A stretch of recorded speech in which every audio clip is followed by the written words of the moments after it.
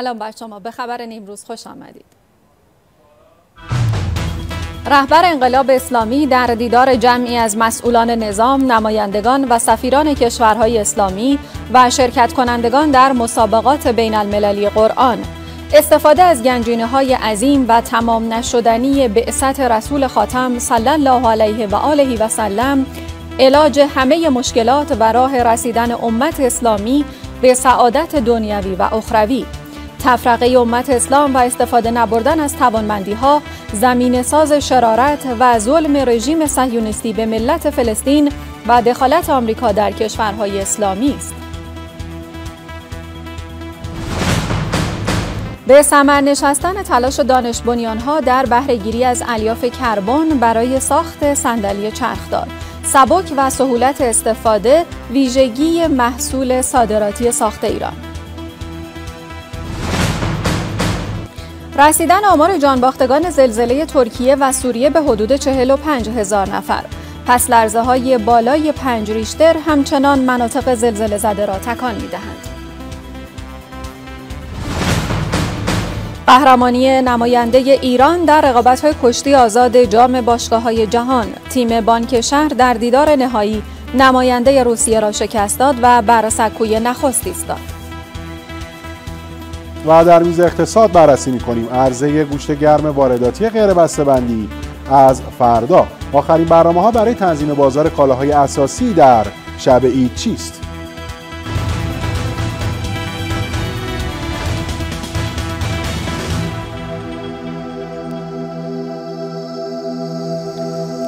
بسم الله الرحمن الرحیم اللهم صل علی محمد و آل محمد و جل فرجهم بینندگان عزیز و ارجمند ظهر شما به خیر به مشروع خبر نیمروز خوش آمدید عید سعید مبعث پیامبر رحمت صلی الله علیه و آله و سلم طلوع تابنده مهر هدایت رو حضور شما همیهنان گرامی تبریک و تهنیت عرض می کنم حضرت آیت الله خامنه ای صبح امروز در عید سعید مبعث در دیدار مسئولان نظام، نمایندگان و سفیران کشورهای اسلامی و مهمانان و شرکت کنندگان در مسابقات بین المللی قرآن استفاده از گنجینه های عظیم و تمام نشدنی بعثت رسول خاتم صلی الله علیه و آله و سلم را علاج همه مشکلات و راه رسیدن امت اسلامی به سعادت دنیوی و اخروی خواندند و افزودند.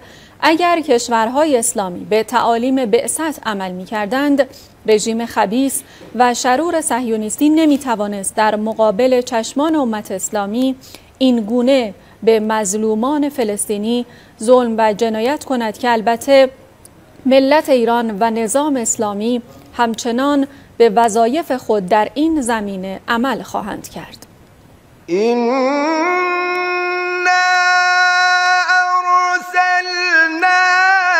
شاهدا و مبشرا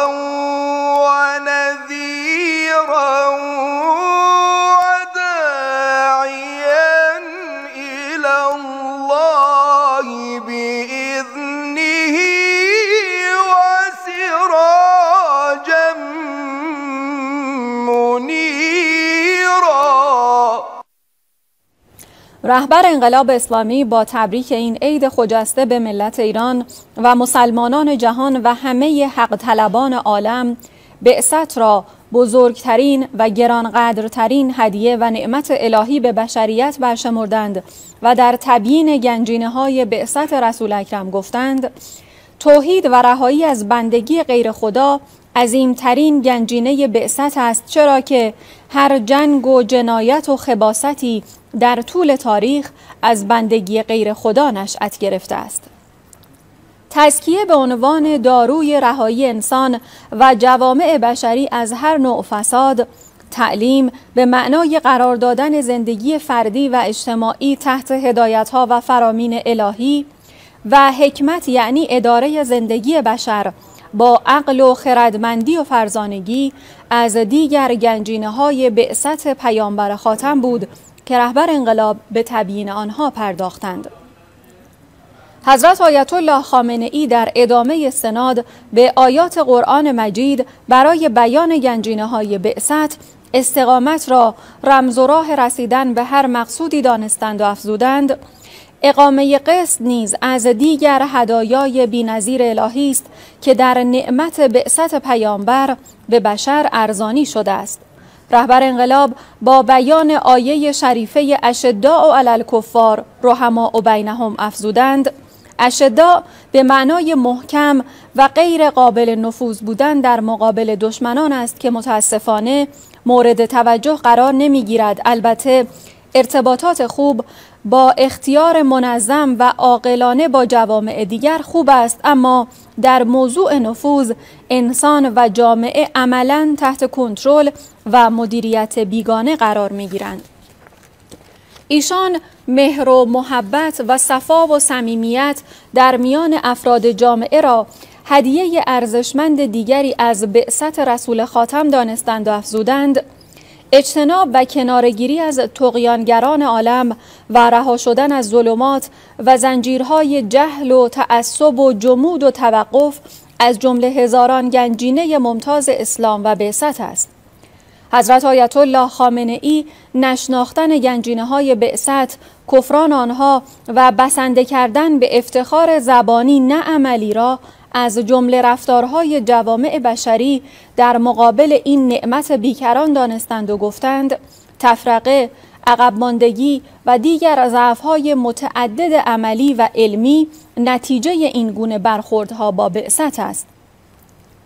رهبر انقلاب ایجاد بزرگترین تمدن جامعه بشری در قرنهای سوم و چهارم هجری را نتیجه عمل نسبی به تعالیم قرآن خواندند و افزودند. امروز هم اگر ظرفیت بینظیر بعثت و قرآن به کار گرفته شود ضعفهای دنیای اسلام برطرف و زمینه سعادت و پیشرفت مهیا خواهد شد. حضرت آیت الله خامنه ای مسئله فلسطین را از جمله ضعفها و زخمهای مهم امت اسلامی دانستند و گفتند یک ملت و یک کشور در مقابل چشمان تماشاگر دنیای اسلام مورد ظلم بیپایان و هر روزه رژیمی وحشی، خبیس و شرور قرار گرفته است و کشورهای اسلامی با این همه ثروت ظرفیت و توانایی فقط نگاه می کنند و حتی برخی از این کشورها به خصوص در این اواخر با این رژیم خونخوار همراهی هم می کنند.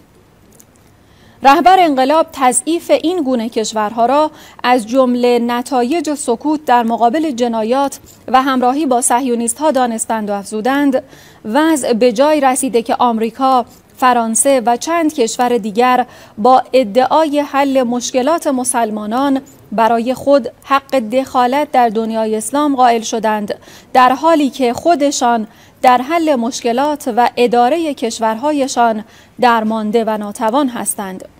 ایشان تاکید کردند اگر از همان روز اول دولت‌های اسلامی به سخنان خیرخواهان از جمله علمای بزرگ نجف گوش می‌دادند و در مقابل رژیم قاسب محکم می ایستادند امروز قطعا وضع منطقه غرب آسیا متفاوت بود و امت اسلامی متحدتر و از جهات مختلف قدرتمندتر بود. امروز جمهوری اسلامی حرف دل مسلمانان مظلوم فلسطین رو سریع و علنی بیان می‌کنه. ما ملاحظه هیچ کس نمی کنیم حقیقت رو با صدای بلند بیان می‌کنیم. از ملت فلسطین حمایت می‌کنیم دفاع می‌کنیم. میگیم هم که دفاع می‌کنیم از به هر طریقی بتوانیم دفاع می‌کنیم از ملت فلسطین. همین موجب شده دشمنان متمرکز بشن و ایران حراسی را بیندازن و اون کسانی که خودشون هم موظفند لاعقل به اندازه ما به فلسطین کمک کنن اونا با اونا هم صدا بشن. در مورد ایران حراسی.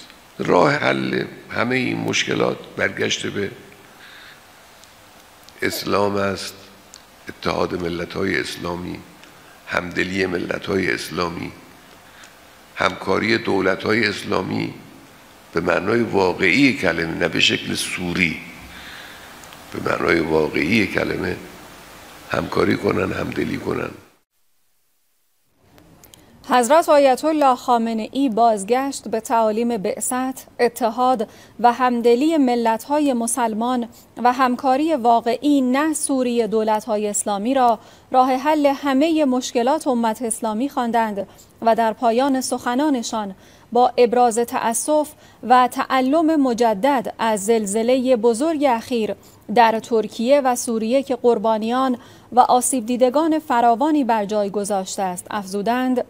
اهمیت مسائل سیاسی مثل فلسطین و دخالت‌های آمریکا باید در هر شرایطی مورد توجه و پیش چشم امت اسلامی قرار داشته باشد. در ابتدای این دیدار رئیس جمهور در سخنانی با بیان اینکه فلسفه بعثت انسانسازی و جامعه سازی قرآنی است گفت پس از انقلاب اسلامی دشمنان همچون صدر اسلام با جنگ نظامی اقتصادی، سیاسی و تبلیغاتی مقابل ملت ما سفارایی کردند اما مردم ایران با استقامت مثال زدنی خود انواع توطعه های سلطگران را ناکام گذاشتند.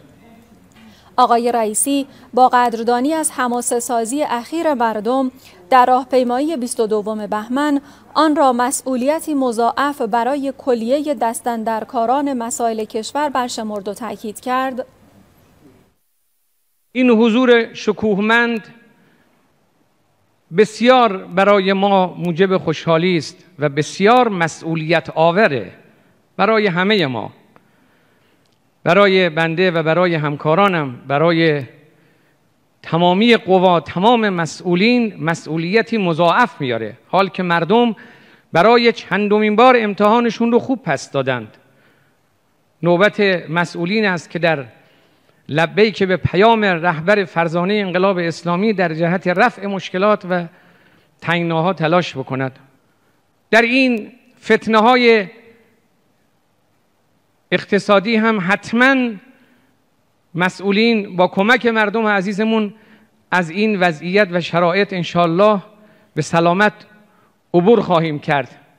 ما تردید نداریم. ملت عزیزمون در صحنه هستند مسائل ارزی و مشکلات معیشتی و اینها همه اینها ما یقین داریم. به رهبر فرزانه انقلاب اسلامی هم عرض می‌کنیم. به مردم عزیزمون هم عرض می‌کنیم. مسئولین با مشارکت مردم حتما شرایط و وضعیت تورمی رو کنترل خواهند کرد و ما هم تورم رو کنترل می‌کنیم هم شرایط رو انشاءالله کاهشی خواهیم کرد. رئیس جمهور همچنین با اشاره به محاسبات غلط دشمنان درباره ملت ایران از جمله در حوادث پاییز گذشته تصریح کرد.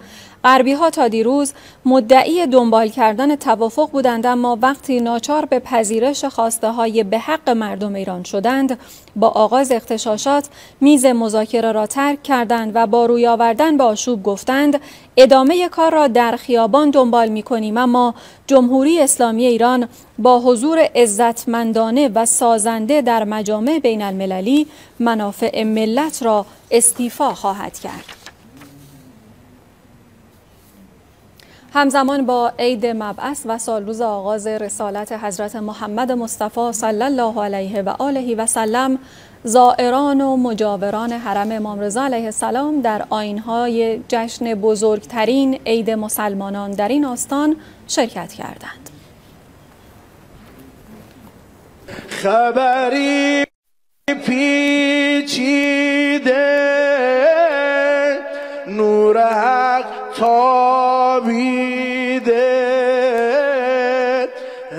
اقرب اسم ربک لذی خلق بر نبی رسیده.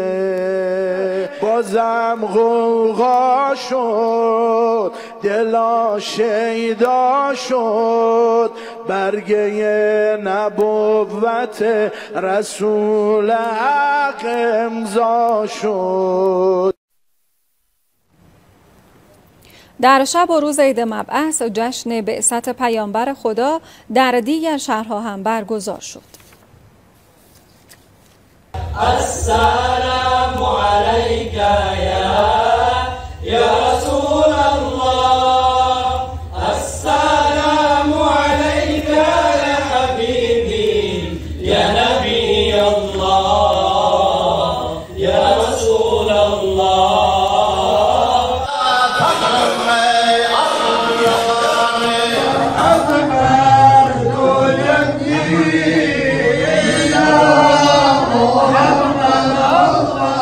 بعثت نور بود در اوج ظلمات و تاریکی های کفر و شرک. رسالتش صلح و دوستی در جهان اسلام در بین مسلمانان بلکه در بین تمام بشریت بوده است. ختم المرسلین بودن این یعنی هر آنچه که لازم بود حتی برای آینده بشریت در او بود. صداقت داشتم. پیامبر گرامی اسلام معروف بودن به محمد امین. یتیم نوازی دستگیری از مستمندان توصیه به سله رحیم. پیامبر صلی الله علیه و سلم بارها تاکید داشتن و گفتن که مسلمان ها باید یک جا بماند با یک دستی بماند. همه ما یکی همه ما امت واحد است. خداوند پیامبر رو برای ما فرستاد برای مکارم الاخلاق. لقد کان لكم رسول الله فی اسوه حسنه حضرت محمد صلی الله علیه و آله و سلم همان گونه که می‌دانیم الگوی تمام مسلمانان هستند. چه زن و چه مرد.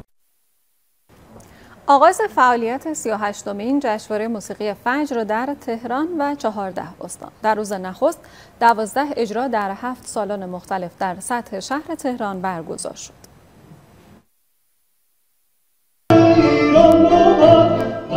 فعالیت تالار وحدت در جشنواره موسیقی فجر با ارکستر موسیقی ملی ایران آغاز شد. تنین صدای ارکستر موسیقی ملی ایران. در 38 مین جشنواره موسیقی فجر از صمیم قلب و جان اومدم اینجا که بتونم اون چیزی که از عشق و از موسیقی در وجود خودم هست به مردم عزیزمون و به حضار ارائه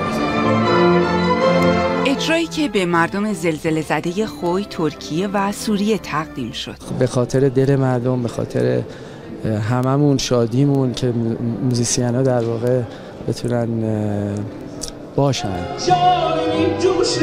استقبال چشمگیر مخاطبان از جلوه های ویژه اولین روز جشنواره بود. تمام صندلی پر شده. جای بعد نشستن نیستش. به خوبه. کیفیت اجرای برنامه هم با قدردانی میهمان ویژه مراسم همراه شد. کاری بسیار فاخر، ارزشمند و تأثیرگذار.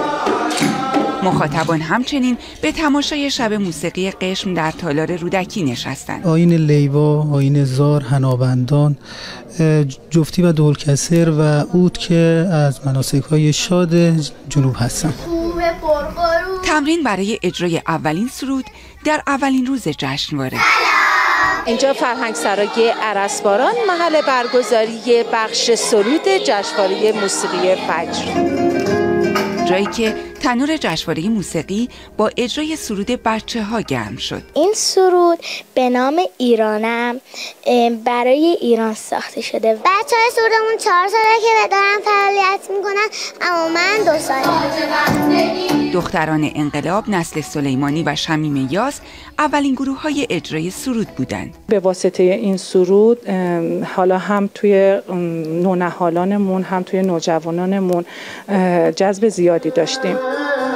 از نوازندگی دوتار تا کمانچه.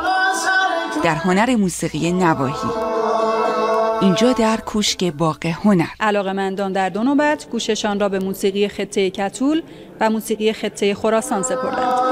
موسیقی اقوام ایرانی که جلوه ای از تنوع فرهنگی ایران را در این جشنواره به نمایش گذاشته. موسیقی اقوام ما نقش پررنگی از این فرهنگ وحدت. نوعی از موسیقی که اقبال مخاطبان را به همراه داشته. در همه نقاط کشور در هر منطقه ما یک موسیقی خاص منطقه رو داریم. هیچ جای دنیا چنین چیزی نیست. دوم اسفند پایان رقابت گروه های مختلف موسیقی در این دوره از جشنواره است. فرزانه آزرفام خبرگزاری صدا و سیما.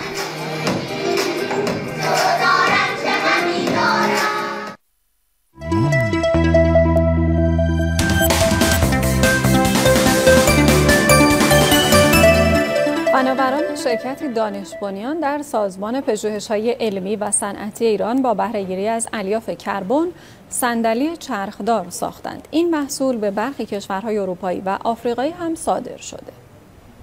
سال 95 بود که یکی از جانبازان عزیزمون اومدن این مسئله رو مطرح کردن که ویلچرهایی که در داخل داره ساخته میشه و استفاده میشه خب اینا خیلی سنگینه. همین موضوع جرقه ای بود برای شروع فعالیت دانش ها با هدف ساخت و توسعه ویلچری با الیاف کربن. سبک باشه خود فرد به تنهایی داخل ماشین بذاره بیرون بیاده روون باشه خود فرد به تنهایی هول بده بره بیاد و در واقع نیاز کمتری داشته باشه به اینکه از افراد دیگه کمک بگیره. از روند ایده پردازیش تا طراحیش تا ساختش همه کاراش در داخل کشور داره انجام میشه. برای ساخت یک ویلچر با استفاده از کامپوزیت الیاف کربن حداقل دو هفته زمان نیاز است. در مرحله اول این هستش که الیاف کربنی که از پیش به رزین به رزین پلیمری آغشته شدن بریده میشن طبق الگو و داخل قالب هایی که خودمون طراحی کردیم چیده میشه.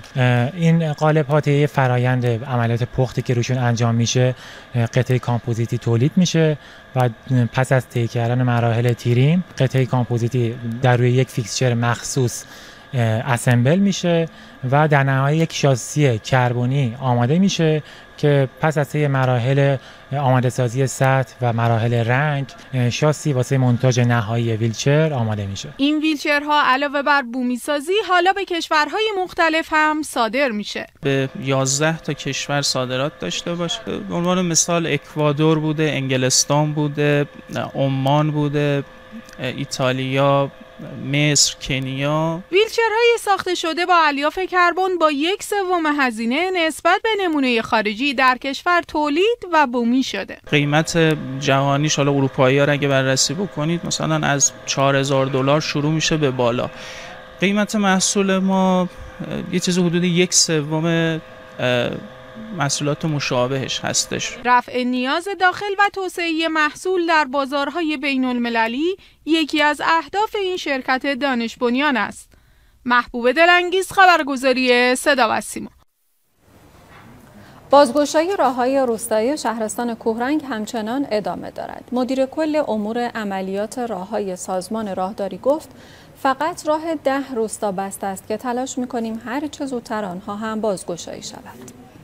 بارش برف هفته گذشته به 44 منزل مسکونی و 25 واحد دامداری و مرغداری شهرستان کورنگ خسارت وارد کرد. تمامی دستگاه های خدمات رسان و امدادی برای کمک رسانی به مردم کورنگ حضور دارند. تعداد 8 دستگاه کامیون و دو دستگاه لودر در شهر چلگرد مشغول فعالیت هستند که حتی امکان بتونن جایی که به حال نیازهای ضروری مردم است خدماتی ها تعمیرگاه ها مراکز درمانی و بهداشتی رو بتونن به سرعت پاکسازی بکنن که مردم به راحتی بتونن این دسترسی رو داشته باشن. اعزام اکیب های از یگان ویژه در بس روی معابر و همچنین پشت بام برخی از منازل اقدامات خوبی هم در طی 48 ساعت گذشته انجام شده. اقلام غذایی توسط جمعیت هلال عمل به مناطق دوردست و صعب العبور ارسال شده است. اقدام به امداد رسانی و توزیع اقلام به اختصاصا و اختصاصا مناطق دوردست و مناطقی که جادهای مواصلاتی اون هنوز بازگشایی نشده نمود. تا الان که ما خدمت شما هستیم بیش از هفت سورت پرواز داشتیم به مناطق دوردست. بعد از بازگشایی مسیرهای ارتباطی روستاها مهمترین دغدغه و مشکل مردم جابجایی این حجم عظیم برفها به خارج از شهرها و روستاهاست. همت بدریفت خبرگزاری صدا و سیما شهرستان کورنگ استان چهارمحال و بختیاری سازمان هواشناسی برای دو روز آینده جوی آرام پیش بینی کرد. با توجه به پایداری جو، شاهد افزایش آلودگی هوا در کلان شهرها خواهیم بود. همچنین دمای هوا در بیشتر مناطق کشور افزایش خواهد یافت. با اتمام بارندگی ها در سطح کشورمون برای دو روز آینده جوی آرام رو در سطح کشور داریم. روند افزایش آلاینده ها در شهرهای صنعتی و کلان شهرها پیش بینی میشه. این شرایط برای دو روز آینده هم ادامه داره. در شرق و جنوب شرق کشورمون هم گاهی وزش باد شدید در استانهای خراسان جنوبی سیستان و بلوچستان یزد و کرمان سبب گرد و خاک کاهش کیفیت هوا میشه. روند افزایش دما رو هم برای چند روز آینده در سطح کشورمون پیش بینی می‌کنیم. به سبب افزایش دما احتمال آب شدن برف ها در مناطق ارتفاعات وجود داره. احتمال روان آب بالا آمدن آب رودخانه ها و همطور ریزش بهمن رو پیش بینی می‌کنیم. تقاضا داریم که کوهنوردان برای سه روز آینده صعودی رو به ارتفاعات به ویژه ارتفاعات البرز نداشته باشن. همطور بخشهایی از خلیج همیشه فارسمون برای سه روز آینده مواج هستش. به تدریج تنگی هرمز و دریای عمان هم مواج پیش بینی میشه. هشدار سطح زرد دریایی صادر شده. تقاضا داریم. فعالیت های دریایی هم محدود بشه.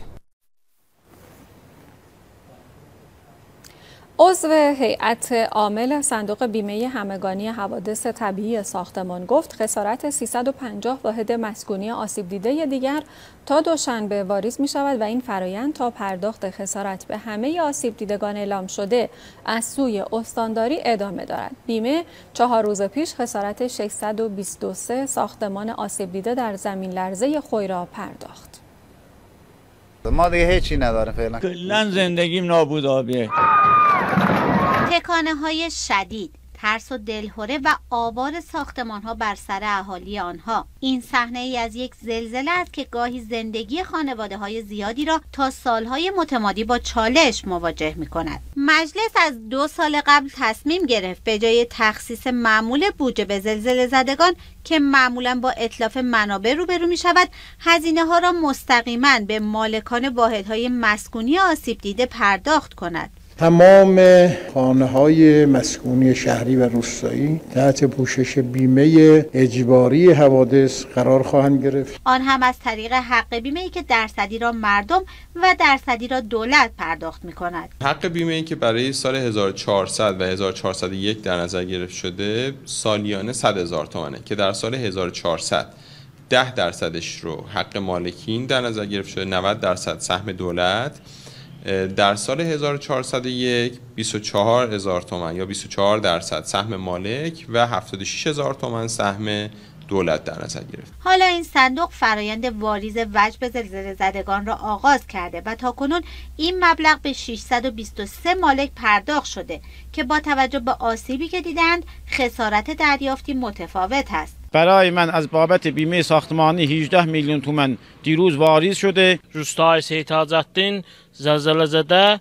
منə به عنوان vaiz pul 30 میلیون bu gün süb tökülübdür. البته ناگفته پیداست که 30 میلیون تومان برای بازسازی یک واحد مسکونی کافی نیست اما این یک شروعی است بر شیوه جدید تامین خسارات زلزله. با بانک های مختلف صحبت کردیم با بیمه های مختلف صحبت کردیم. با بیمه مرکزی داریم صحبت می‌کنیم که عملا یک محصول مشخصی رو به عنوان بیمه تکمیلی بیاریم و قرار بدیم در کنار این بیمه پایی اصلا حتما باید این اتفاق بیفته. وگرنه تا ابد و در حالا فرض کنید این سی تومن اصلا میشه 100 میلیون تومن باز پولی محسوب نمیشه. یعنی شما چی می‌خواید بسازید با 100 میلیون تومن این بیمه خسارت های مانند سیل و برف گرفتگی را نیز به شرط اعلام آن از طریق استانداری در بر می‌گیرد. رضوان با صفا خبرگزاری صدا و سیما. وزیر راه و شهرسازی در سفری به شهر پرند به صورت میدانی تکمیل واحدهای طرح نهضت ملی مسکن پرند را پیگیر شد. طرحی که در سفر حدوداً دو ماه پیش رئیس جمهور به پرند وعده های درباره آنها مطرح شده بود. آذر ماه امسال و بازدید آقای رئیس جمهور از طرح بزرگ نهضت ملی مسکن در پرند و قول پیمانکاران با آقای رئیس جمهور. من قول رو به شما میدم. اگر همه ارگانا یعنی حمایت کنن سنگ اندازی نکنن ما انشالله تا همون آزادسازی خرمشهر تحویل انشالله. یعنی زودتر هم اعلام می‌کنیم که شما قبلش اصلا ببینید. خیلی خوبه. حالا وزیر راه و شهرسازی پیگیر شد تا ببینه چقدر وعده هایی که پیمانکاران در پرند به آقای رئیس جمهور دادن عملی شده. ما همونطور که خدمت شما آقای رئیس جمهور دوستانم بودن عرض کردیم برای خورداد ما. انشالله ما که رو حرفمون هستیم. هر پیمانکاری یه درصدی رو می‌گفت. چند درصد پیشرفت میشه؟ درصد بگو من الان قول می‌خوام بدم. قولم میده بعدم بده ما پیگیری می‌کنیم. نه پیگیری می‌کنیم. انشالله هدفمون که تا 20 تا برسونیم. آقای بسپاش به هر کارگاه مسکن سازی که می‌رفت به دنبال یه قول قطعی بود. آقای من دارم قول میدم. یعنی کی شما فاز اولش رو تحویل میدیم؟ ما بدیم به متقاضی ها خرمشهر تحویل میدیم. یعنی سه خرداد. سه خرداد. قول قطعی. قول قطعی یعنی من سوم خرداد از این فاز 500 بار تحویل مردم بدم ببین الان ما سنگم خالی کردیم. اینو کی به ما میرسون ان ببین ما هر سرعت حمایتی که اینجا کردیم. هر سه ماه 500 باید به شما بدیم. از برج سه به بعد. قول نمی‌خواد چی گذاشتی گفتم قول نده گفتم انجام میدم به شرط که همه پشت هم باشه پشت قول نده شما یه خونه رو یه روزم زودتر تحویل بدیم دل کل خودشون مدد ببین ما زمین رو به محض اینکه تحویل می‌گیریم شروع می‌کنیم آباده سازی. اینجا روزانه باید 3 میلیارد ما هزینه کنیم. تا انشالله بتونیم سر ما تزریق می‌کنیم. دقت و سرعت در ساخت مسکن. برای آقای وزیر خیلی مهم بود. ابتدای بحث شروع به نهضتمون در شهر جدید شرکت های دانش رو دعوت کردیم که در حوزه های مختلفی که در حوزه صنعت ساختمان اعلام آمادگی کنن از محصولاتشون بتونیم استفاده کنیم. 1500 واحدی تو این نقطه است که آغاز شده. خلاصه وزیر راه و شهرسازی حسابی نقشه کشیده بود برای خانه‌دار شدن مردم. آقای بسپاش وزیر راه و شهرسازی گفت سال آینده کشور به یک کارگاه مسکن سازی تبدیل خواهد شد. یوسف سلامی خبرگزاری صدا بسیما. ساعتی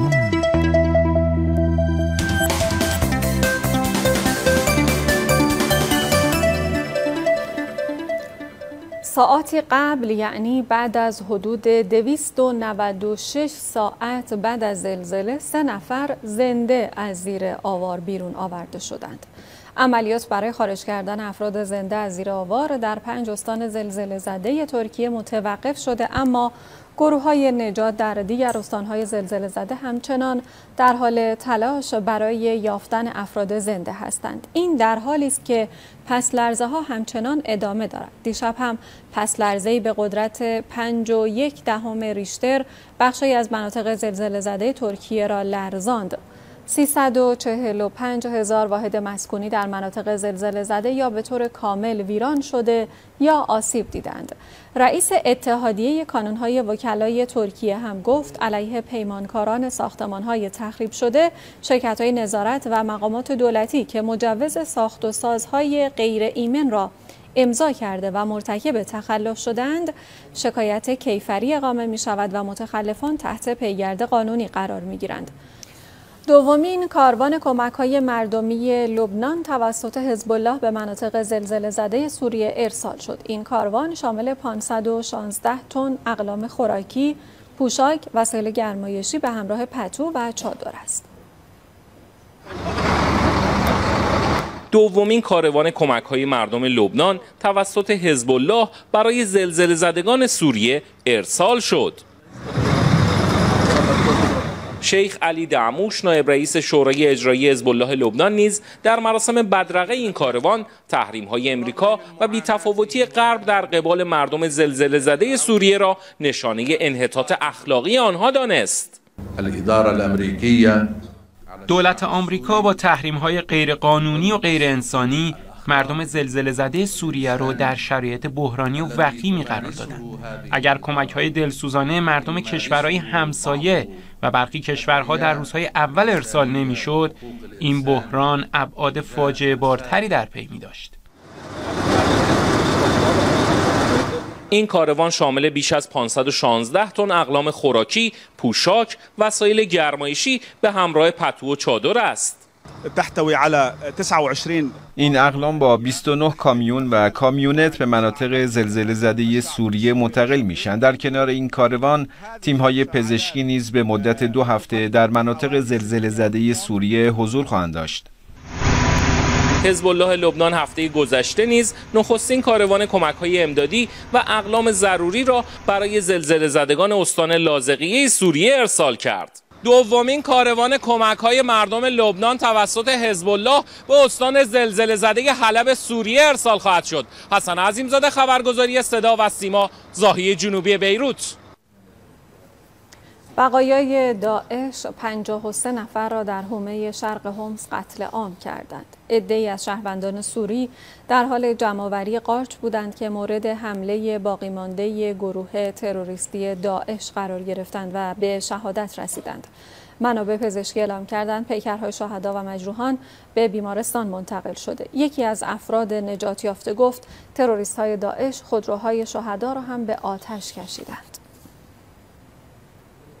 یک فرد آمریکایی در ایالت میسیسیپی در اقدامی مسلحانه شش تن را کشت. زارب ابتدا به فروشگاهی رفت و یک مرد را کشت، سپس به خانه ای حمله کرد و یک زن را به قتل رساند و پس از آن به خانه دیگر حمله کرد و چهار تن را در آنجا کشت. پلیس زارب را دستگیر کرده اما هنوز اطلاعاتی درباره هویت و انگیزه او منتشر نکرده. بر اساس جدیدترین نظرسنجی مؤسسه گالوپ 63 درصد آمریکایی ها از آزادی حمل سلاح در این کشور ناراضی اند. در آمریکا به ازای هر 100 نفر 120 اسلحه وجود دارد. دانشگاه جورج تاون آمریکا در گزارشی اعلام کرد در سالهای 2015 تا 2021 167 شرکت آمریکایی تقریباً 40 میلیارد دلار در صنعت هوش مصنوعی چین سرمایه گذاری کردند. این حجم سرمایه گذاری در حالی است که در سالهای گذشته آمریکا محدودیت های گسترده ای را علیه چین و همکاری با شرکت های این کشور اعمال کرده. بی‌توجهی شرکت‌های آمریکایی به هشدارهای دولت آمریکا درباره سرمایه‌گذاری در صنعت هوش مصنوعی چین. دانشگاه جورج تاون آمریکا در گزارش تفصیلی می‌گوید سهم آمریکایی ها در صنعت هوش مصنوعی چین تقریبا 37 درصد از کل سرمایه گذاری خارجی بوده تقریبا 40 میلیارد دلار سرمایه گذاران آمریکایی بیشتر به تکنولوژی های تشخیص چهره، پزشکی و روباتیک چینی ها علاقه نشان دادند. بیشتر این سرمایه گذاری ها در فاصله سالهای 2015 تا 2021 با وجود تحریم های شدید از سوی دولت وقت جمهوری خواه ترامپ و دولت دموکرات بایدن علیه فناوری های پیشرفته چین انجام شده. چین از نظر پیشرفت های تکنولوژی به ویژه در حوزه هوش مصنوعی به طور پیوسته مسیر سعودی خود را طی سالهای گذشته حفظ کرده. آنطور که دانشگاه استنفورد آمریکا می‌گوید چین بیش از نیمی از های ثبت اختراع در حوزه هوش مصنوعی جهان را در سال 2021 به نام خود ثبت کرده. های رسمی نیز در چین نشان می‌دهند که ارزش صنایع محوری هوش مصنوعی چین از 400 میلیارد یوان عبور کرده است. کاربرد تکنولوژی هوش مصنوعی در حال تغییر شکل چشمانداز صنعت است که در طول چهل سال آینده مسیر توسعه را متحول خواهد ساخت. سهم اقتصاد دیجیتال در 47 کشور دنیا به بیش از 40 درصد رسیده و سهم هوش مصنوعی در این اقتصاد تا سال 2030 15 تریلیون دلار خواهد بود و این واقعیت را چین خوب می‌داند. رهبران چینی می‌دانند که هوش مصنوعی کلید اصلی توسعه و ادامه رشد اقتصادی این کشور است. چین در نظر دارد تا سال 2030 رهبر جهان در زمینه هوش مصنوعی شود. ما بر نیازهای استراتژیک ملی تمرکز خواهیم کرد تا قاطعانه در نبرد در عرصه فناوری های کلیدی پیروز شویم این موضوع آمریکایی ها را بسیار نگران کرده است در گزارش نهایی کمیسیون امنیت ملی آمریکا بارها درباره موفقیت های چین در عرصه هوش مصنوعی ابراز نگرانی شده. از این رو آمریکا می‌خواهد با افزایش حجم سرمایه گذاری های خود در عرصه هوش مصنوعی همچون سرمایه گذاری جدید 10 میلیارد دلاری مایکروسافت. Microsoft is in talks to invest 10 billion dollars in OpenAI the creator. اعمال تحریم های جدید علیه چین همچون قانون دانش و تراشه و همچنین توسعه همکاری های خود با برخی کشورها همچون هند در عرصه هوش مصنوعی. این نگرانی را برطرف و چین را متوقف کند آزمایش موشک جدید فضایی ژاپن موفقیت آمیز نبود. موشک H3 قرار بود صبح جمعه از مرکز فضایی کاگاشیما به فضا پرتاب شود. موتور اصلی موشک روشن شد اما سیستم سوخت جامد عمل نکرد و موشک بر سر جای خود باقی ماند. این موشک قرار بود یک ماهواره نظارتی را به منظور کمک به مدیریت فجایع طبیعی در جو زمین قرار دهد. اجساد 18 مهاجر در کامیونی در بلغارستان کشف شد. این اجساد در میان حدود چهل مهاجر غیر قانونی دیگر که زیر بار چوب در کامیون مخفی شده بودند کشف شده. پلیس می‌گوید قاچاقچیان مزنون متواری شده اند. ژاپن بار دیگر بیشترین آمار ابتلا و جانباختگان کرونا را با 141 فوتی و بیش از 18 هزار ابتلای جدید در یک شبانه روز ثبت کرد. در آمریکا هم 110 نفر بر اثر کرونا جان باختند و حدود 10 هزار نفر به آن مبتلا شدند.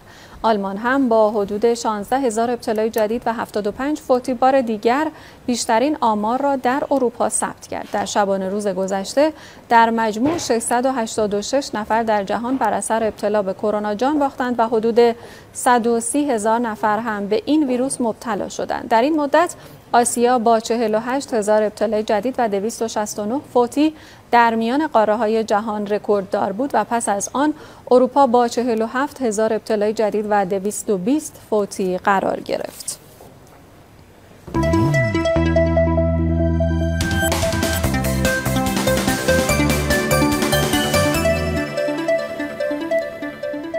کتاب فروغ ابدیت همزمان با عید مبعث به چاپ چهل و یکم رسید. این کتاب اثر شناخته شده آیت الله جعفر صبحانی است و انتشارات بستان کتاب ناشر آن است. لقد كان لكم في رسول الله أسوة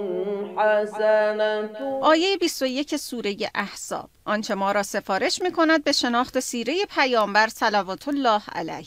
موضوعی که حالا در کتاب فروغ ابدیت با نصری روان به قلم آیت الله جعفر صبحانی بدان پرداخته شده. ابوذر گفت سوگن به خدا پیش از آن که به میان قبیله خود برگردم باید ندای اسلام را به گوش مردم برسانم.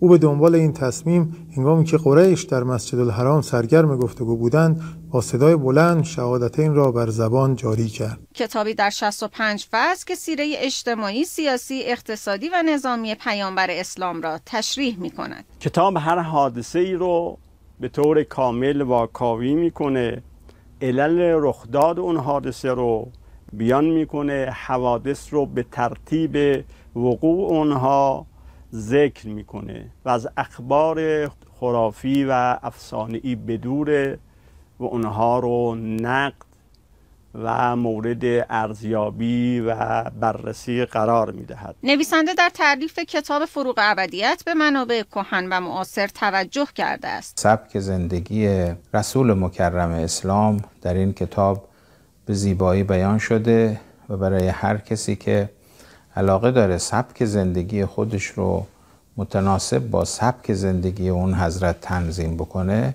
محتوای این کتاب مناسبه. زینب سلیمانی خبرگزاری صدا و سیما الحاق تجهیزات جدید به مرزبانی کشور. فرمانده مرزبانی کشور گفت با الحاق 70 شناور تندروی ساخت داخل توان عملیات مرزبانی کشور در دریا رشد چشمگیری پیدا کرده. سردار گودرزی گفت به زودی تجهیزات جدید دیگری هم برای حراست از مرزهای کشور در اختیار ما قرار می گیرد سیستم های الکترونیکی اپتیکی و به حمدالله اخیرا انشالله در چند روز آینده تعداد زیادی خودروهای تاکتیکی مناسب رو که در شرایط سخت کوهستانی شرایط آب و هوایی مختلف مثل آذربایجان غربی کردستان سیستان و بلوچستان و قسمت های مرزیمون انشالله الحاق میشه به مجموعه انتظامی که اینها باعث به فضل الهی بالا بردن توان عملیاتی مرزبانی خواهد شد. از فردا عرضه گوشت گرم وارداتی غیر بسته بندی در میادین میوه و ترهبار مدیرعامل سازمان میادین میوه و ترهبار گفت به منظور تنظیم بازار گوشت گرم از فردا در میادین میوه و ترهبار گوشت گرم وارداتی غیر بسته بندی با نرخ مصوب توزیع می شود به گفته آقای فساحت گوشت گرم گوسفندی با نرخ 230 تا 240 هزار تومان و گوشت گرم گوساله با نرخ 220 تا 230 هزار تومان به فروش می رسد. این عرضه قرار است تا پایان ماه مبارک رمضان ادامه یابد. همچنین گوشت گوساله وارداتی بسته‌بندی با نرخ 215 تا 220 هزار تومان و گوشت گوسفندی بسته‌بندی 247 هزار تومان در فروشگاه های زنجیره افق کوروش در سراسر کشور تا پایان اردیبهشت عرضه خواهد شد. پایش و نظارت بر اطلاعات ثبتی دستگاه های اجرایی برای ایجاد فرصت شغلی در سامانه ملی رصد اشتغال. رئیس دبیرخانه شورای اشتغال کشور گفت با ثبت بیش از یک میلیون فرصت شغلی خدمات اشتغال دستگاه های اجرایی به تفکیک کد ملی افراد در این سامانه قابل رصد و ارزیابی است. به تعبیری هر کد ملی یک فرصت شغلی.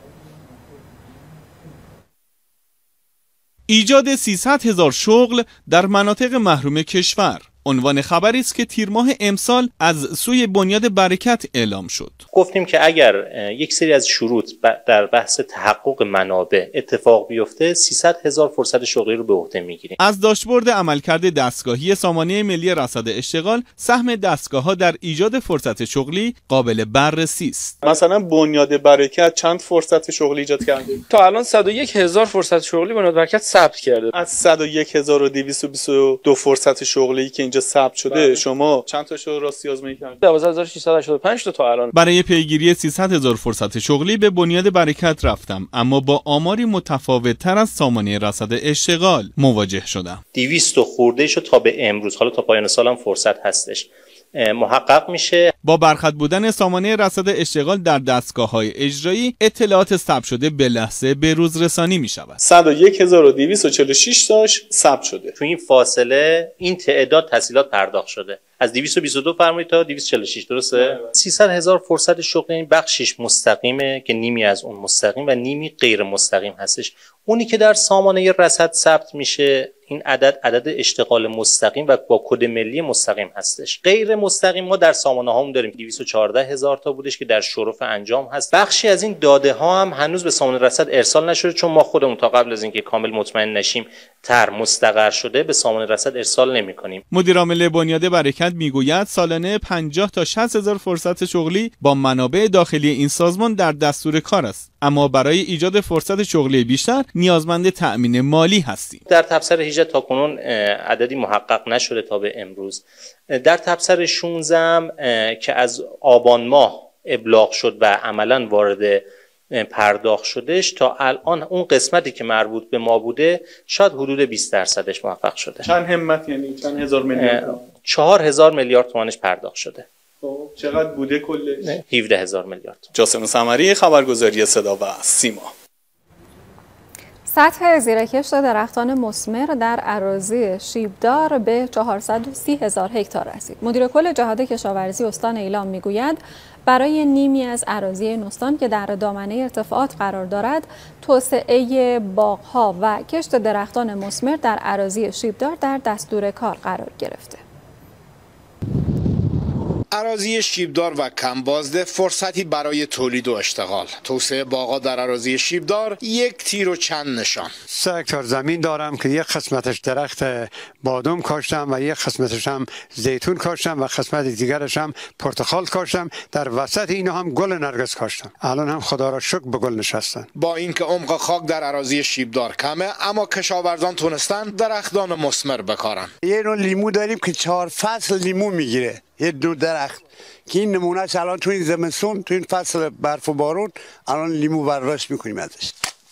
تحریک رهاورد آن پیشگیری از فرسایش خاک ذخیره آب درآمدزایی و ایجاد اشتغاله. به ازای هر هکتار احداث باغ در اراضی شیبدار به صورت مستقیم برای سه نفر شغل ایجاد شده. حدود 20 درصد از تولیدات باقی استان از همین اراضی شیبدار برداشت می شود پسته لیمو ترش زیتون بادام انجیر و انگور از مهمترین ارقام کش شده در این اراضی است. انجیر استحبان در حدود دو هکتار کش کردیم و امسال برای اولین بار به بار نشست. چند رقم؟ ما درخت تو این دامنه کاشتیم که همه هم جواب دادن. به ویژه انگور. در سالهای اخیر هم 550 هکتار باغات مسمر در این عراضی احداث شده. سطح باغات در عراضی شیبدار کشور 430 هزار هکتار است که در برنامه هفتم توسعه برای استان ایلام ده هزار هکتار پیش بینی شده است. در استان ایلام بیش از 200 هزار هکتار اراضی شیبدار وجود دارد که 120 هزار هکتار آن قابلیت تبدیل به باغات مسمر را دارد. توسعه باغات در اراضی شیبدار علاوه بر تنوع اکوسیستم منطقه باعث افزایش بهرهوری تولید و ایجاد اشتغال پایدار هم در این بخش می شود. کیانوش گیلانی خبرگزاری صدا و سیما در شهر. Thank you.